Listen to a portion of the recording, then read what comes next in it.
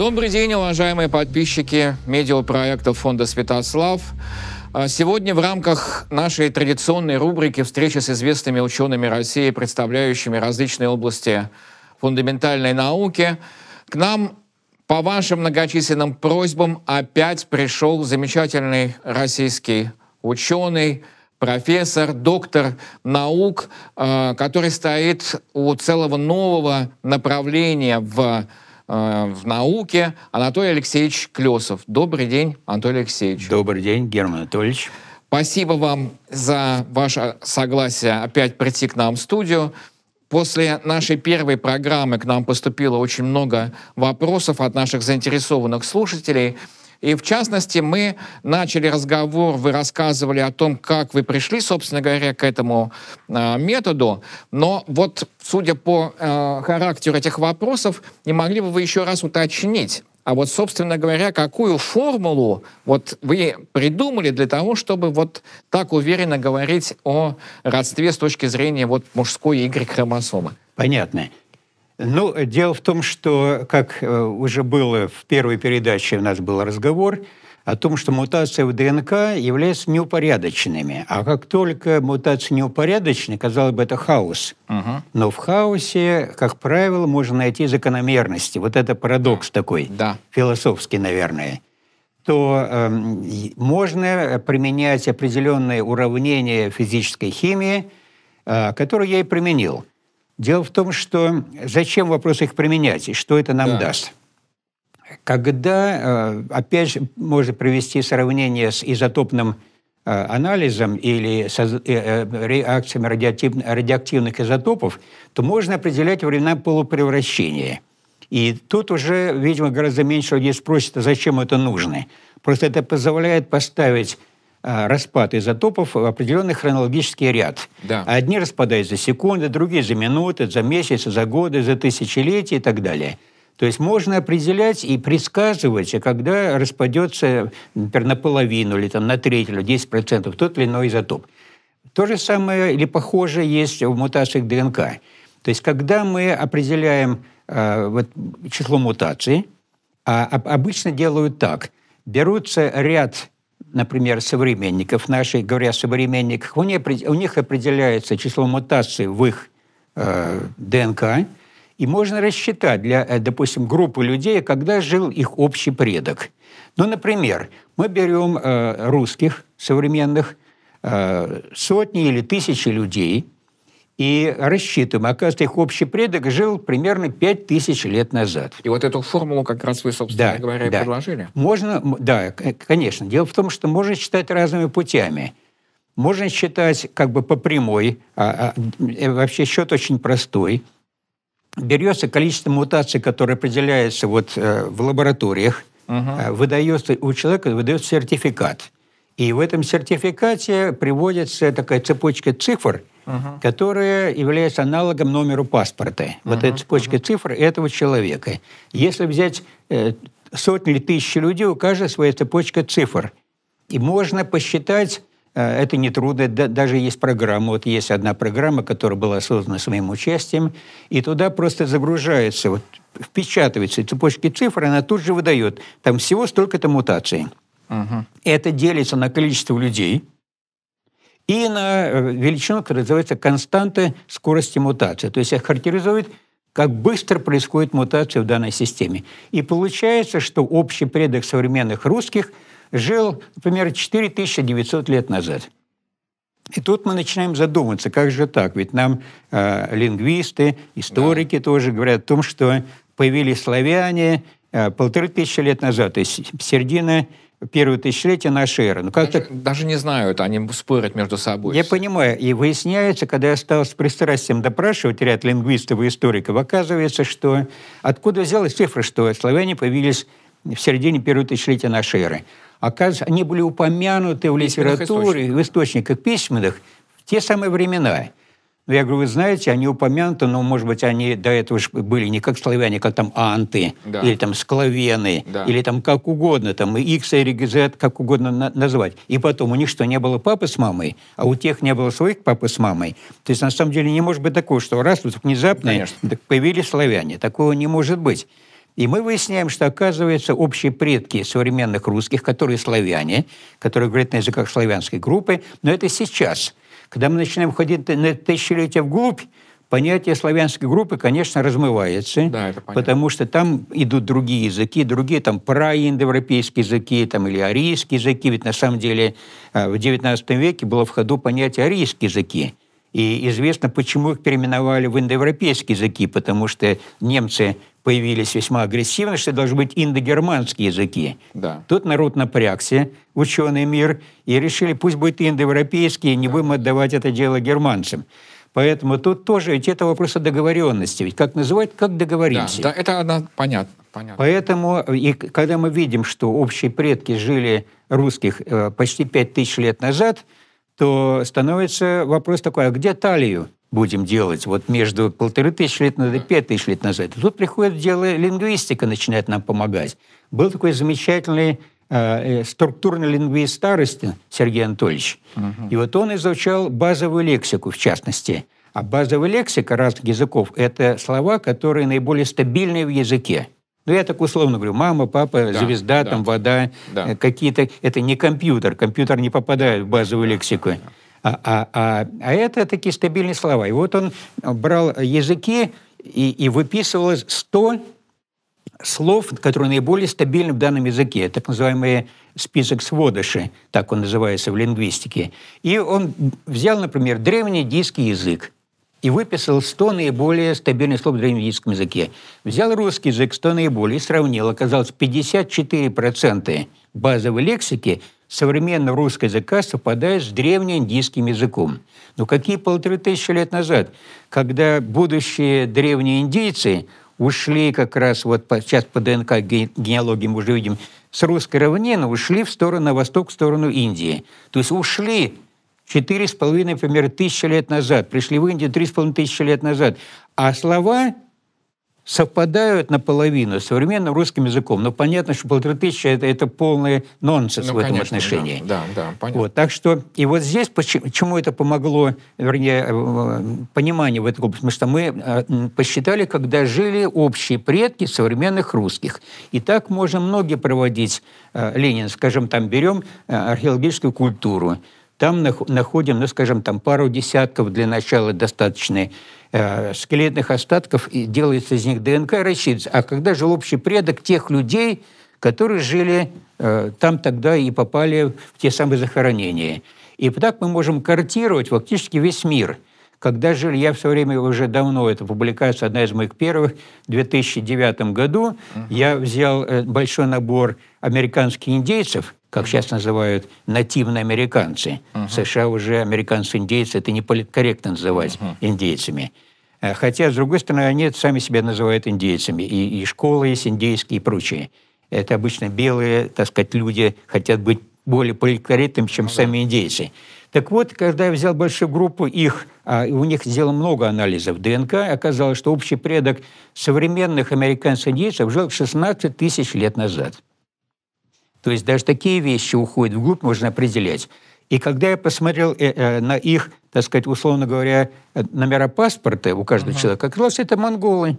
То есть ну, просто... Это подтверждает да. гипотезу о том, что они перешли так, да. когда Берингового пролива не было, была суша. Совершенно верно. Была Берингия, когда была суша, и они со стороны Монголии прошли наверх до современной, так сказать, понятия Якутии и перебрались туда. И что интересно, в Северной Америке сейчас э, вот эта гаплогруппа Q, вот мы говорили как да, раз да, да. Гаплогруппа, сибирская типичная гаплогруппа и монгольская, это Q. И вот они прошли туда, и вот группа Ку среди североамериканских индейцев всего лишь, в общем, меньше половины осталось, порядка трети. А, и вопрос, куда она делась? Ну, можно догадаться, куда она делась. А особенно помогает в этом то, что в Южной Америке 95% uh-huh. у инди... гаплогруппы Ку.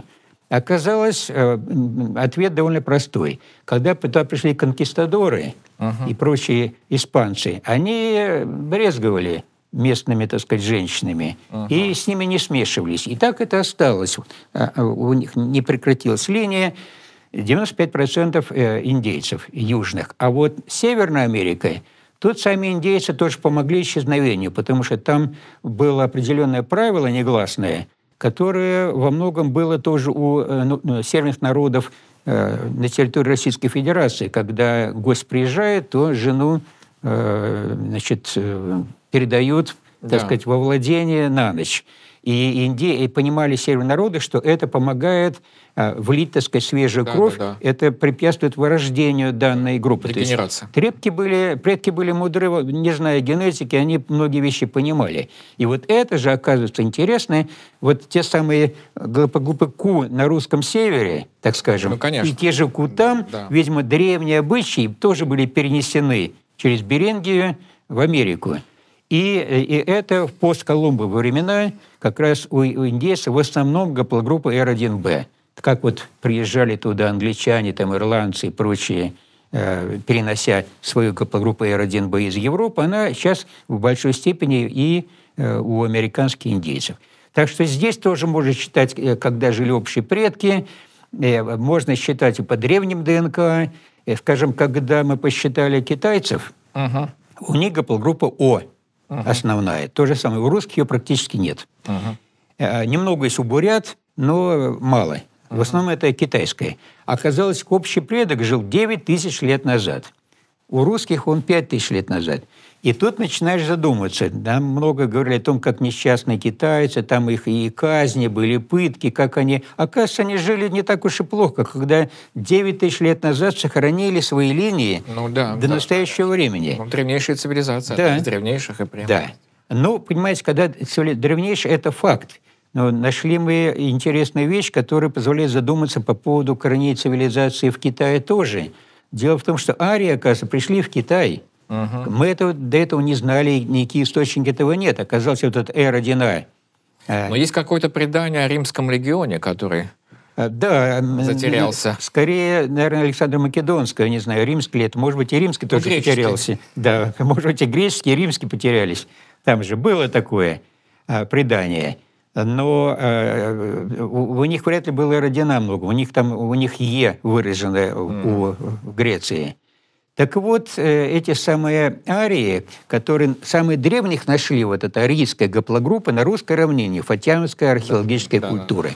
Да. Я не буду детально рассказывать, почему мы знали, что это именно арийская, но просто если взять за стандарт, что те, которые люди в высших кастах, это потомки ариев древних. Вот они R1 за 93, за там 645. И они же на русской равнине. Но с фатьяновской культурой здесь совпадает, здесь вы совпали, в общем-то, с некоторыми догадками, которые делались и археологами, и историками, mm-hmm. которые э, считали, что, возможно, именно фатьяновская культура еще та нераздельная э, популяция, э, из которой потом Э, э, появятся и славяне, и германцы, да. и, возможно, балты. А так, так, это, так это и оказалось.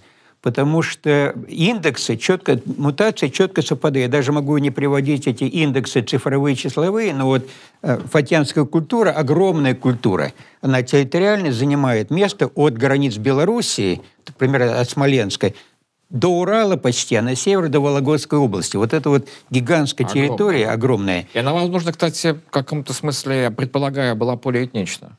Она, да, и более того, писал об этом Краинов, который э, классик изучения да, фатьянской да, культуры. Он писал, что это неоднородная культура фатьяновская. То есть понятно, что получается, что неоднородно жили разные племена. Но mm. это же реплика, если я вспоминаю, культуры шнуровой керамики. Э, и боевых топоров. Вы понимаете, так принято в истории считать. Но когда мы посмотрели, что в фатьянской культуре в основном родина Z93, и мы не нашли этого в КШК, культуру шнуровой керамики. Возможно, пока не сделали... Но традиции социальные есть. Дело в том, что на этой культуре да. вот эти сами боевые топоры находятся. Да, да. Но, тем не менее, пока... Перенес, перенеслись элементы культуры, да. но, не сами, но не переселение людей. У меня даже догадка, не знаю, возможно, историкам это покажется ересью, что э, культура волосовская – она может иметь отношение как раз к происхождению фатьянской культуры. То есть тут могли быть две полосы две, продвижения. Как раз очень... Из шнуровой керамики и волосовской культуры. Но волосовская, она и на территории такие русской равнины и находит. Правда, как и Кашикар, э, э, русская да, равнина да, да. понятие очень обширное. Факт тот, что вот когда мы смотрим эти самые э, ДНК-генеалогии, вот эти гаплогруппы, там гаплотипы, там мутации, или как называют их СНИПы, это калька с английского сокращения. И мы видим, как они реально, как они шли. То есть это вот из Ватьяновской в срубную культуру, из Фатянского в Башевскую культуру, в Потаповскую, Синташтинскую культуру и дальше в Индию, и оттуда же с Урала э, на Алтай, скажем, Хакасы, они в большой степени имеют то же самое R1A Z93, Антон Алексеевич, прошу прощения, что перебью, но вот уточняющий момент. Когда вы говорите, вот они шли, э, как историк я вижу тут два возможных варианта. Что значит шли? То есть, ну, вот буквально... Жили они там. А если они именно шли? А, ну, и по пути все-таки оставили свое царственное семя и ушли дальше? Ну, вы понимаете, шли это понятие, конечно, такое вот э, условное. Они жили там, потому что когда они... То, что вы видите, вы анализируете, это вот не случайно, так сказать, проходом? Нет, нет, нет. Это, это явно идет четкая э, передача наследственности от культуры, культуры, культуры. То есть историки оперируют, понятно, материальными признаками в этих культурах, тип жилищ, тип оружия. Но ведь могло же быть так, что они, вот представьте себе, вот популяция, э, скажем, вынуждена, причем вот, вот мы в прошлой передаче говорили, почему уходят с одного, вот из Алтая, почему ушли. Да. Э, но, скажем, в Европе бывает а, как раз от очень хорошей жизни ушли, потому что хорошие условия, хорошие годы урожая, отсутствие эпидемий, насели... демографический взрыв. А э, ареала для охоты, популяции животных для охоты не хватит, или ну, если да. они перешли к земледелию, не хватит поля, обрабатываемого этого племени для того, чтобы такое количество покормить. И тогда по жребию у германцев, например, они просто некоторые рода э, по жребию выкинули, ну, разумеется, низшие рода были вынуждены уходить на новое место. Депортация. Депор... Да. И вот они идут, и тут встречают племя, которое, ну, скажем, где девочек много, а мальчиков мало. По пути они же могли оставить. Могли. И Конечно. Это, это останется в Y, а как бы... А митохондриальная своя, так сказать, а которая, которая да, была воспитает, местная. Да. Но так оно, скорее всего, так оно и было, потому что берем, скажем, ямную культуру, там только одна мужская гаплогруппа, R1B. А женских у каждого, кого сделали анализ, она разная. Это экзогамия, скорее то всего. Есть, то есть женщин, из... женщин, кого брали со стороны, ну да. как вот, Девис Микола там, э, такой-то там э, турчанку привез в курень ну, наш, да, да? да? Так что привез турчанку, он в виде военного трофея, она стала его женой, там, наложница, да, конечно. Это вот Мелехов, история Мелехова, да? да? И, и, и так что такие вещи, конечно, возможны. Но дело в том, что разнообразие женских гораздо больше, чем мужских. И вот здесь вот мы еще к этому вопросу подходим. Я сейчас буду с точки зрения как бы критики вас. Да. А, а, вам на это скажут, что вот мы в прошлой передаче говорили, гаплогрупп всего 20. Ну, 36. скажем так, ну пусть будет неважно, а, ограниченное а, количество. А, человечество 8 миллиардов. Да и наций, национальностей, национальностей сейчас, ну, две тысячи. 36 всего и две тысячи. Угу. И в этом смысле э, можно ли вот делать такие длинные цепочки, которые вот как они, эти физические антропологи, при всем том, что они говорят, что индоевропейцы вообще ну, э, очень похожий антропологический тип, хотя он тоже мозаичен, он не, вот, не чистый, но чистого вообще ничего нет. Собственно ну, говоря, представление о чистоте да. это человеческое, чистого да, ничего да. не бывает. Но тем не менее они умудрились при всем этом общем практически для каждого народа Европы бельгийца, шотландца, там, англичанина, славянина, выявить вот свой антропологический тип. Можно ли... Или... Ну, вы сделали то же самое. То есть для, всей, э, для всего мира, э, куда дотянулись руки исследователей, потому что бывает там Папуа Новая Гвинея, это поменьше работ да, был, да, да, но тем не менее, а скажем, если взять рекордное количество, э, это Италия, Англия, Ирландия, там десятки тысяч, если уже не сотни тысяч проанализированы. Э, есть такое... Э, Но есть ли для них отдельные вот эти веточки? Конечно. Конечно. Потому что R1B это же все, и англичанин, и француз. У него тысяча, где-то 1140 подуровней у этого R1B. И, конечно, можно анализировать, в Испании R1B, у них одни ветви. В Британии, там, в Англии, в Шотландии, в Ирландии, другие. Кое-что совпадает, особенно корневые, начально, потом они расходятся. А, скажем, если говорить про R1A, Беларусь, что у русских а, это вот 52%, у поляков 56%.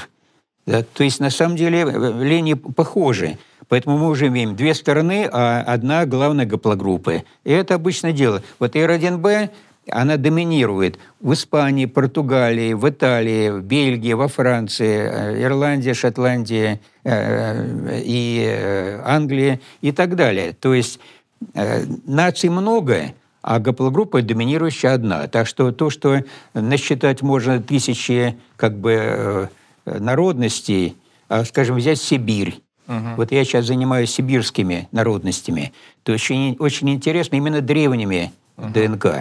А, вот по, уже известно 640 ископаемых ДНК для Сибири, то есть 640 точек для, для сопоставления. И мы прямо видим, то есть когда анализируем, что вот они с Северной Монголии пошли, и дальше на север, через Берингию в Америку. То есть прямо тропа просматривается, как вот они переносили эти свои гаплогруппы, причем хвост это все длиннее, длиннее, длиннее детально. И мы в какую сторону э, шла как раз миграция. Так что такие вещи, это я к тому, что эта ДНК-генеалогия, она позволяет определять миграцию четко. Скажем, когда мы видим, что та же R1A, например, в Европе, она же в Сибири, но понятно, что она каким-то путем прошла туда или обратно.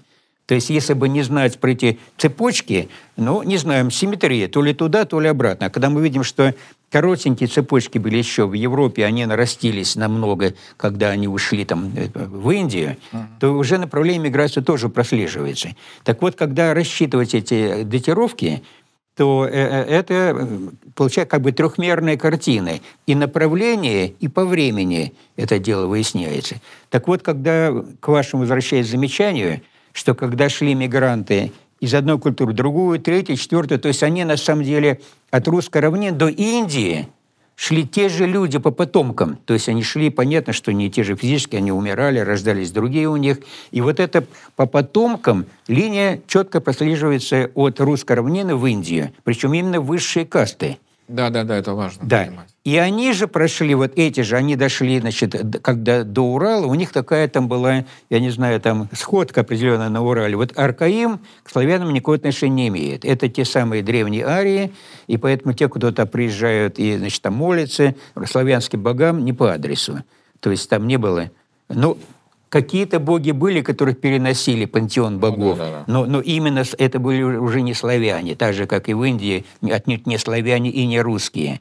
Но э, род один и тот же.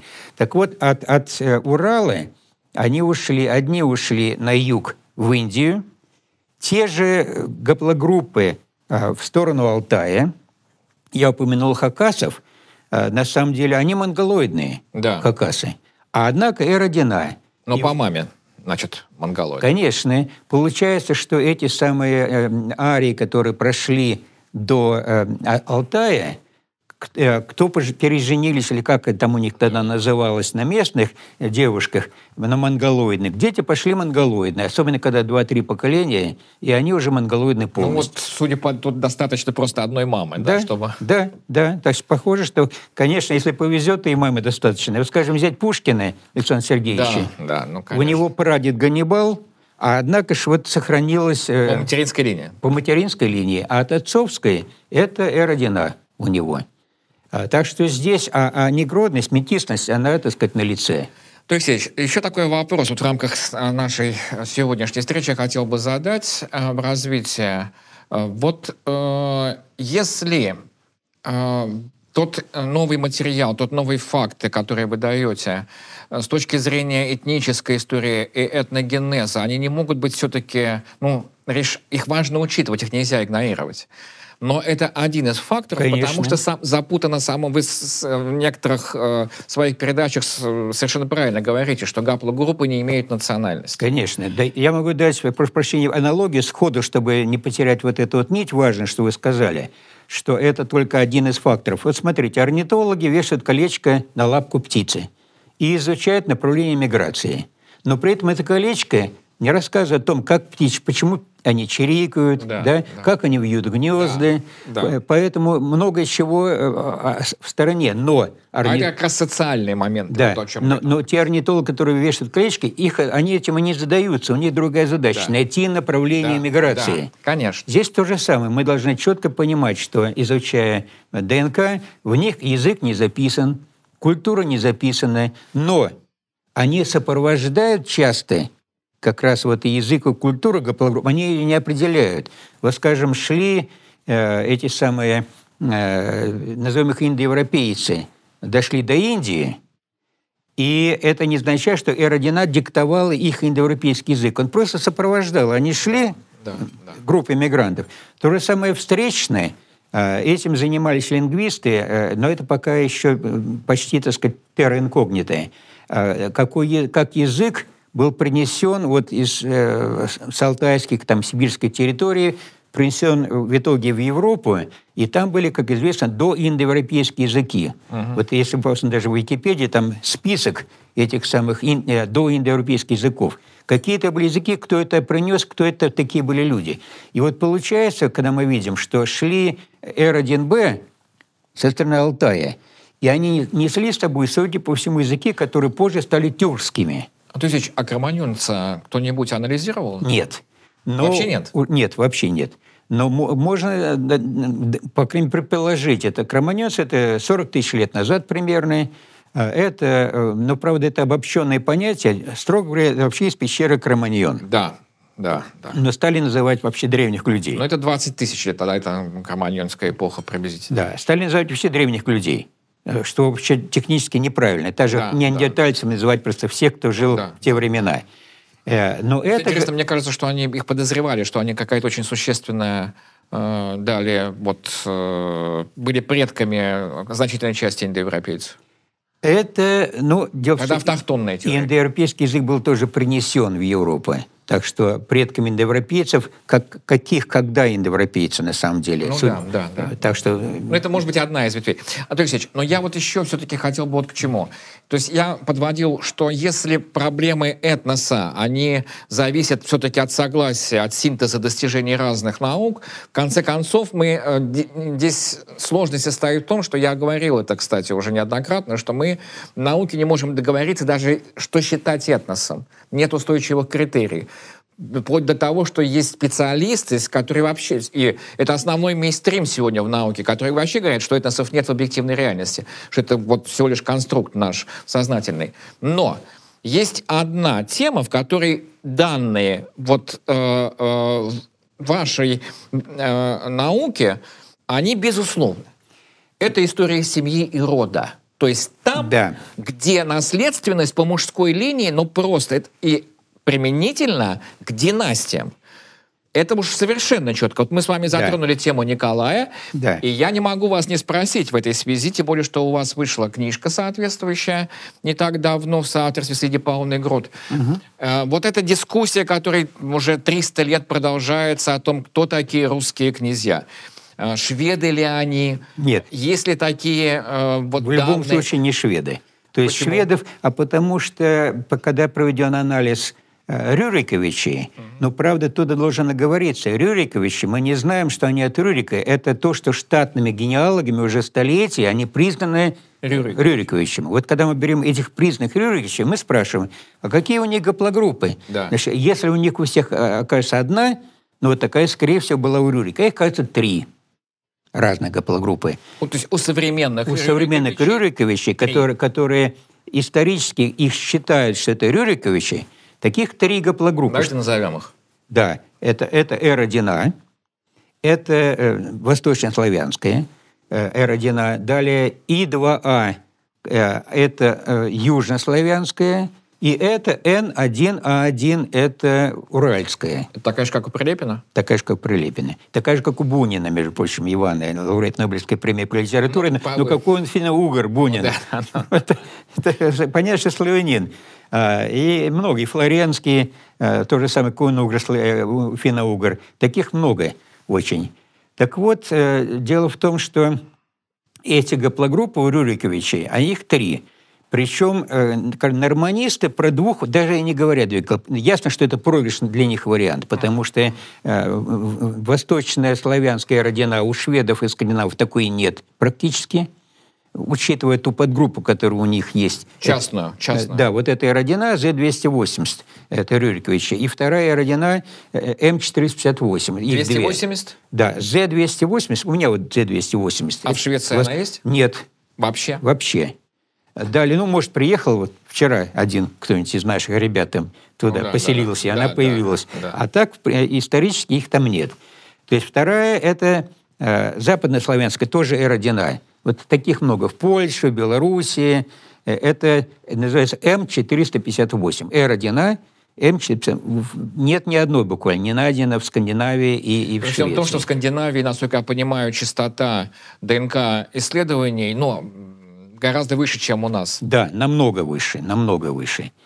Так вот, короче говоря, ни э, южнославянской, ни восточнославянской, ни западнославянской там нет. Поэтому их норманисты даже и не упоминают, тех Рюриковича. Они вцепились в одних, которые вот N1A1, что это вот она, поскольку э, э, гаплогруппа, она, по их словам, широко, э, так сказать, популярная вот, в Скандинавии и Швеции, что на самом деле не так. У шведов ее 7% вообще. 7%. У, у датчан и норвежцев 1%. То есть, чтобы там она такая была... Ну, это может быть элита, князья. Конечно, может быть, это не исключает, но просто к тому, что их там мало. Так вот, дело в том, что э, вот эта группа Рюрикович, который член Российского дворянского собрания, это князья Российского дворянского собрания. Вот они, на самом деле, когда сделали ДНК-анализ, оказалось, что они родственники. Они образуют плотную группу, плотный узел такой. Все эти три гаплогруппы? Все нет, нет, только одна N. А, N. И родина, и, и, и, и то, что и их даже не рассматривают, это понятно, что они даже не участвуют в дискуссии. Они явно не могут быть скандинавами и шведами. Поэтому, конечно, можем придираться, что, ребят, так, избирательные. Это как там, вы понимаете, здесь играем, здесь не играем, здесь рыбу заворачиваем. Ну так, да, да, да. так это не научный подход. Ну ладно, пусть будет так, сделаем снисхождение. И вот, что это N? Так вот, N, все 11 человек, ну, сейчас можно, что 12, ну, пусть будет 11 человек. Российского дворянского собрания, князья, они образуют э, группу плотную, и у них вот эти вот метки, самые концевые, то есть самые последние, что ранние они могут по всему миру быть, а важно э, самые последние – то у них э, есть такой индекс ВЛ, так обозначает. Это ВЛ-11, ВЛ-12, ВЛ-14 и ВЛ-15. Это, вот, то есть более частная, насколько я понимаю, Да, вот совсем это веточка. тонкая структура как бы уже. Вот этих всех э, Рюриковичей, их вот четыре всего самых таких конечных гаплогруппы. Если построить дерево генеалогическое, то они уходят в одну веточку, и это самая концовка этой веточки, самый кончик ее. Вот там сидят все эти 11 человек. Как у нее индекс? Э, Это Крайний. ВЛ-11, это N1, А1, да, это все N. А, Это вот ура- уральская исходная. А, И они все сидят плотно одной группой. ВЛ-11 есть в Швеции? Не нашли ни одной. То есть ни одного. То есть шведов там близко рядом нет с этими вот э, 11 человек. Они сидят на этой веточке, и э, ни шведов, ни датчан, ни норвежцев, ни А, то есть финнов там нет. вопрос тогда. Да. Но вам всегда на это скажут, что вот эти Рюриковичи ныне живущие, Да. это же сколько прошло за тысячу лет? Мало ли где там мама, пра, прабабушка, где там... Я понимаю. Потому что должно-то быть все-таки, если династия, это династия, причем она такая очень, ну, хорошая династия, с традициями, родовыми традициями, там не должно быть, во-первых, три. Естественно. Там должен быть один. Конечно. Это уже Ну, странно. Ну вот мы выбрали, пусть будет N, вот это один. N1. Но они все равно современные. Может быть, это какая-то вот такая прививка Так сделана. На той ДНК-генеалогии, чтобы проверять, а где там жили их, э, и кто были их общие предки, на самом деле оказалось, что всех этих 11 есть один общий предок, который жил. который жил в IX веке. Это буквальное совпадение с Да? С Рюриком. Романа. 872 там 800... э, 62 862 год, да. Ну, мы говорим о, о том, когда Рюрик умер, по-моему, это какой? Вось- Да. вось- Ну, а мы не знаем. Тело, Ну, это да, фигура это, это летописные данные. Короче говоря, это совпадает.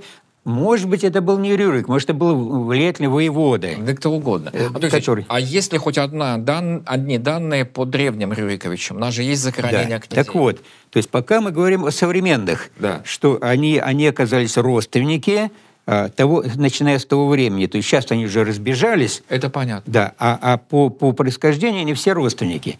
Так вот, поэтому вопрос стал, надо найти, как вы правильно сказали, древнего Рюриковича, желательно, конечно, самого Рюрика, если найдется э, древний Рюрикович, и тогда по нему, так сказать, смотреть, а где он окажется, в этой же группе или он окажется совершенно отдельно. Может, он вообще с родина окажется, или там с И2А и так далее.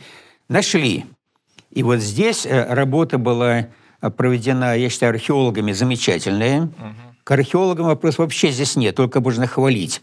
О том, что э, нашли значит, монастырь, в котором, по сведениям, э, э, был похоронен сын Александра Невского, который Дмитрий. был э, Дмитрий Александрович, соответственно, и, и, э, ну, правда, конечно, были вопросы, а те ли кости там остались, может быть, что-нибудь уже подменили. Ну, там Тут бывает такое. Да. да. Нет, но есть кости, было идентифицировано место, которое можно изучать. И вот тогда, понимаете, если бы эти кости ДНК попало в ту же группу, ну тогда это действительно да, он да, самый. Да. Вот если он остался в стороне, тогда ничего сказать да. нельзя. Так вот, проверили. Попал? И вот, э, да, вот так вот архе, археологи сделали замечательную работу, нашли, дали генетикам, изучайте. Дальше что? Генетики провели э, работу тоже важную, безусловно, хотя потому, что они не довели до конца, но не довели до того, когда другие перехватились и работу завершили. Угу. Что тоже важно. Без этого окончательный результат не появился бы. Ну, конечно. То есть они э, показали, что вот, вот есть этот геном выделенный, вот его анализ, и на этом остановились практически. Uh-huh, uh-huh, uh-huh. А вот группа есть одна очень известная, это группа называется Y-Full, она называется по-английски, но это российская группа. Они как раз те, те э, так сказать, э, депонировали э, геном. Вот есть база данных, куда этот геном, uh-huh. эта группа генетиков положила. Те взяли этот геном и проанализировали дальше. И нашли, что это ВЛ-11. Совпало. Совпало. То есть это совпало прямо с одним, уже уже есть ВЛ-11 там, это еще один наложился, и плюс это рядом 12, 14, 15. То есть русский исторически, видимо, все-таки N1. Да, то есть э, это, э, судя по всему, по этим данным, что Рюрик, если он был, или это влиятельный воевода, если он был, неважно, неважно, предок вот этой группы князей. Потому что, кстати, то, что я не просто повторяю, что это князья, вот э, часто мне вопрос задают, вот, а что если у меня вот гаплогруппа или там окажется такая же, как у Рюриковичей? Значит, получается, я Рюрикович? Я говорю, нет. Почему? А потому что Рюриковичи – это 40 поколений боевых командиров, угу. которые служили во славу России. А вы кто? Ну, совпало. Ну, малые, понимаете, бастард, приблудные, там, внебрачные. Это неизвестно. Нет, я понимаю, но э, тут я должен привести э, пример. Вот какой. Был такой Джефферсон, Томас Джефферсон, президент США. Да. У него была рабыня служанкой. Ну, так сказать, э, Понятно. нравы были тогда, сами понимаете, какие. Короче говоря, родился э, значит, сын, и э, Джефферсон давно уже нет, а этот, дети этого до настоящего времени сохранились. И один из этих потомков – он сделал себе ДНК-анализ и показал, что он совпадает с ДНК Томаса Джефферсона. Ну, неудивительно, потому что Малова, сказать, правильно все рассказала. Он пришел в клуб потомков Джефферсона. Есть такой элитный клуб, очень, очень высокий в США, и говорит, я ваш... Это самое... А у них много там их? Разных клубов полно. Клубы потомков Майфлаура, которые... Нет, у Джефферсона у него много потомков, реально? Ну да. Да, много реально потомков. Они образовали клуб, во всяком случае. И он туда пришел, говорит, давайте, вот я сделал ДНК-анализ, у меня прапор... Его послали, я даже не сомневаюсь. Совершенно верно. В далекие путешествия позвал. И сказали, что бастардов нас не, они нас не интересуют. Нас интересует реально, потому что они говорят, все потомки Томаса Джефферсона, они работали и, и на благо Америки, внесли большой вклад. Вот это сенаторы, там, другие там, губернаторы. Антон давайте вернемся. Так, так вот я к тому, что Рюриковичи – это не гаплотип. Ну, да, это да, все-таки, понимаете... Социальное явление. Здесь я вас да. категорически поддерживаю. Конечно. Антон Алексеевич, но а это ВЛ-11?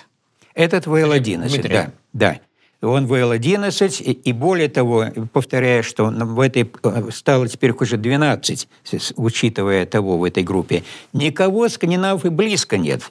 То есть они есть намного выше и на боковых ветвях, от которых речь не происходит. Это боковые ветви не, не могут э, происходить. Кто-то вернуться в это исходное положение.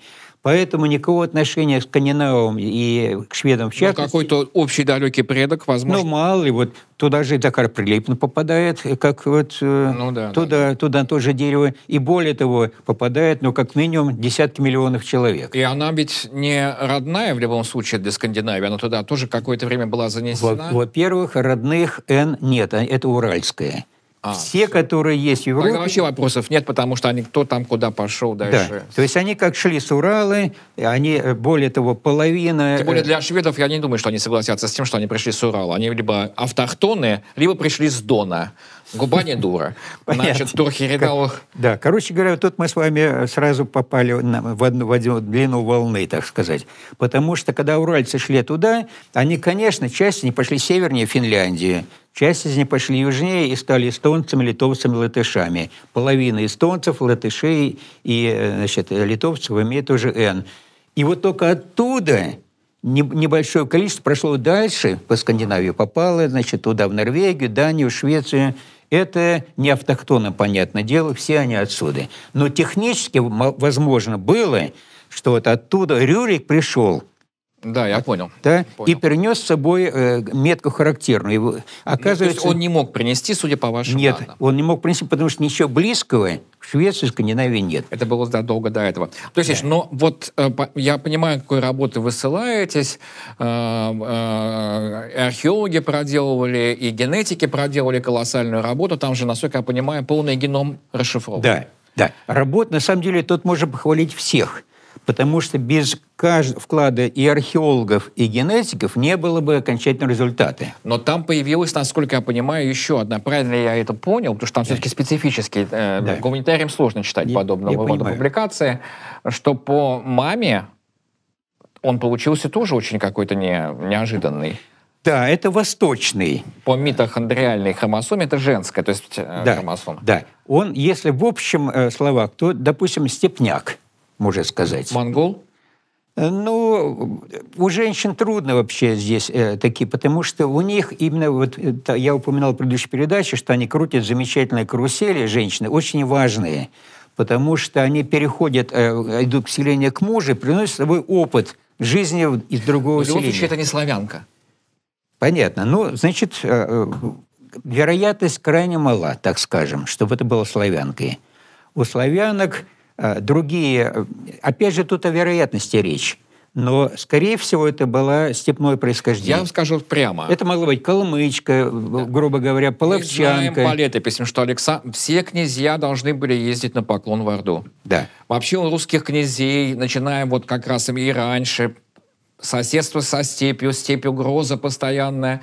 И в числе этих дипломатических, скажем так, Э, отношений русские князья не только мечом, но иногда и дип- оружием дипломатии да. вступали в брак. Да. Они вступали в брак с половецкими книжнами. Мы точно знаем, что они вступали в брак с представителями династии Чингизидов. В частности, э, хан Узбек отдал свою э, э, сестру родную Кончаку, э, значит, за Юрия Даниловича, э, как раз тоже имеет отношение к Москве, э, брата старшего Ивана Калиты. И там вот в результате как раз, ну, она погибла, ее Михаил Тверской, если не память не изменяет, но неважно.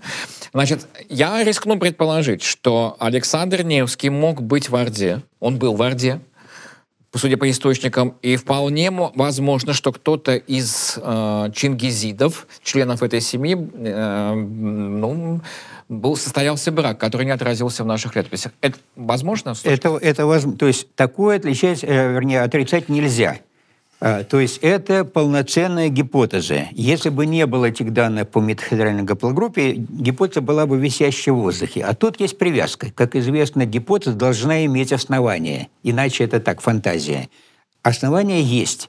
То есть можно предположить вполне, что он был, э, его отец Александр Невский, э, был женат на э, половчанке ли, чин, чингизитке ли, там, на, на монголке ли, и это сыграло, возможно, политическое решающее значение в том, как его принимали в Орде, потому что она была при нем таким поплавком, Конечно. так скажем, очень Хотя может быть. тут по-разному они могли поступить, но дело в том, что если Дмитрий учесть то, что Дмитрий это старший сын Александра Невского, то э, если эта гипотеза верна, то тогда есть вероятность того, что и Даниил тоже является... Потом... Если, если мать одна, тогда э, у всех у них Тогда у них да, вполне могли проявиться монголоидные черты. Тоже, может быть. Конечно. И э, это фактор, который мы совершенно никогда не учитывали, но он э, дает нам, ну, как бы дополнительную пищу для размышлений, в том числе э, рассуждая о вот тех сложных процессах, которые происходили здесь в дальнейшем, и э, в том числе и в рамках проблемы причин возвышения Москвы. Почему в конечном итоге, ведь все-таки э, хан Узбек, он э, пошел на ну, по сути дела, он поддержал, конечно, Москву в этом противостоянии. Тут это, хотя, конечно, были поводы данные, Тверское восстание 27 года, но все-таки вот он, я всегда, я не понимал, почему он не должен был позволить так возвыситься Москве, разделяя властвуй. Он должен был отнять ярлык, а он вот этот момент упустил, что во многом потом предопределило, мне кажется, и Куликовскую победу, и не только. Ну, во многом же это и было дипломатией древности. Да, это, ну, это, конечно. Конечно. Как мы знаем, это был мощным инструментом э, вот таких дипломатических отношений. Что касается того, что были монголоиды, или имели черты, это же черты как приходят, так и уходят. Ну, Потому что последующие, допустим, были в славянки, пара поколений, и монголоид исчезает. Вот у меня есть в моей коллекции, я публиковал в книге фотографии, э, исходные, э, есть хакас. Чисто монголоидный. Вот его фотография у меня в книге есть. Дальше он женился на москвичке, угу. на блондинке. Ребенок у него уже, уже не, не, такой выраженный монголоид, уже, так сказать, монголоид черты растворяются. Дальше фотография, это третья фотография, внук этого дела. Уже практически никакой монголоидности нет. И, наконец, его э, значит, трое дочерей э, играют там около детской коляски, там лежит еще один, ну, ну, ну москвички. То есть никакой разницы нет. То есть, короче говоря, монголоидность исчезла за три поколения полностью. Так что здесь она появляется, она исчезает, поэтому вот эта физическая антропология, она на самом деле это такой моментальный срез, потому что раньше могло быть по-другому и позже может быть по-другому. Зависит от того, кто туда, какие женщины войдут в это уравнение раньше и позже. Ну что ж, Антон Алексеевич, огромное спасибо за этот увлекательный рассказ. К сожалению, время нашей передачи неумолимо э, заканчивается. Мы, наверное, на этом сегодня э, эту программу закончим, но мы, понятно, что мы только приступили к рассмотрению очень таких животрепещущих важных моментов, и э, ваше последнее замечание тоже, мне кажется, очень важным, потому что, несмотря на то, что мы говорим, в общем-то, о таких вещах, как кровь, родство, там, да, биологическое родство. На самом деле мы исходим из того, что это э, э, не опред... отнюдь не определяющие с точки зрения ну, социальных процессов моментов. Это просто тот фактор, новый вид источника, который до этого не использовался, но который при наложении на вот ту сумму данных, которая у нас уже есть и добыта другими науками, позволит нам как бы вот скорректировать и представить более объемным да, процессы и увидеть то, что мы раньше не видели. И, соответственно, так наука и развивается. Конечно, в этом, в этом и ценность. Дело в том, что мы не можем рассмотреть все стороны. Это такая многогранная да, вообще ну, тематика, и каждая грань имеет свои исторические примеры, прецеденты. Скажем, можно было рассказать, но сейчас уже не уложимся, я сам учусь на этом деле во многом, потому что, скажем, когда мы знаем, что в Индии высшие касты, там понятно, пришли это вот эродина, сами создали высшие касты, сами туда записались, понятное дело, и уже 3000 с лишним лет они их держат. Э, там ну, да. мое поколение, мы помним индийские фильмы, когда э, женщины в зале в слезах, а там драмы, да, да. он из высшей касты, она внекастовая, да, да, да. Э, да, система не позволяет им образовать семью или там наоборот. И, это, и вот так они, они держали жесткое кастовую систему три с половиной тысячи лет. И, и, и сохранили во многом... И благодаря этому, да, мы, то, что мы... Структура, да. И, и я не знал, что подобная же вещь и в арабских странах. И когда я стал сейчас активно общаться с арабами э, по, на эту, по этой тематике, они сказали, что мы согласились с тем, что формально высшая каст нет, а реальная – это и сеиды, и имамы, и э, там э, элита арабского общества. Ну, и родовой строй, он всегда, да. он неизбежно. И, и оказалось, что, рода. оказалось, что они во многом эродина.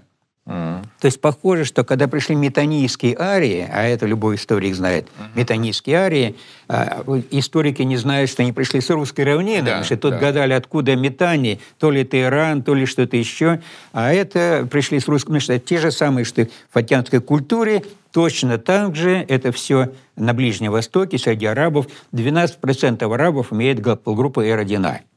И вот э, есть такое э, клан... Но или... у них своя же ветка, не Z280? А, нет, у них Z93, та, которая, та, которая в Индии. Есть в фатьяновской культуре. И которая в фатьянской культуре.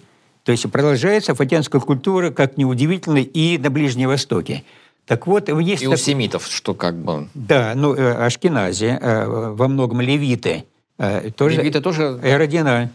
Эродина. И тоже 93? И, и, то, и тоже 93. Но, но своя ветвь. Так, ну, мы на этом должны быть заканчивать. Хорошо, давайте. Продолжим и, я, тему. я про то, что сейчас не буду продолжать, что высшие касты такие же, оказывается, есть в арабских странах. Более того, они эродина, они в Коране отражены. И, и сейчас идет схватка практически среди арабов, кто главнее какая группа главнее. Вот, ну, да. вот это ну, вот. Надо им быть. Какая самая арабистая? Ну да. Спасибо, Анатолий Алексеевич. Ну, а с вами, уважаемые подписчики, наши слушатели, мы на этом прощаемся. Подписывайтесь на медиапроекты фонда «Святослав», потому что будет еще интересней. Поверьте историку.